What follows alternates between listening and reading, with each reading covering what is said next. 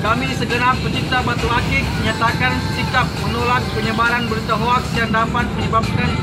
de- desintegrasi bangsa dan mendukung Polri khususnya Polres Palu dan Polda Suteng guna memberantas pelaku penyebaran hoaks dengan tadi alirnya NKRI harga mati.